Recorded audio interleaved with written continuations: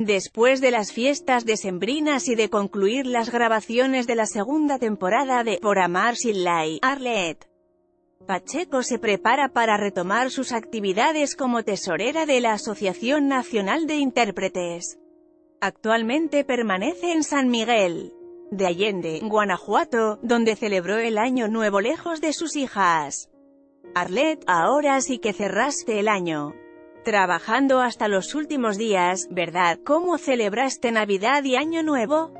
Me imagino que en familia, aunque tus hijas ya son muy independientes, supongo que tendrás muchos planes para arrancar con todo este 2019.